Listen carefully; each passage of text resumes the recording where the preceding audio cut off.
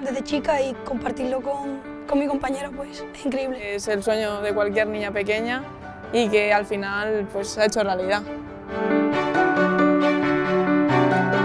Lo primero que se me vino a la cabeza fue la que hemos liado y luego sí que es verdad que lo primero que se me pasa es mi familia, mis amigos y lo demás.